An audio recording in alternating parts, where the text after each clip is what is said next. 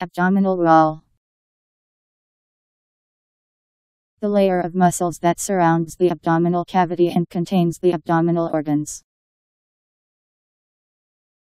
A B D O M I N A L W A L L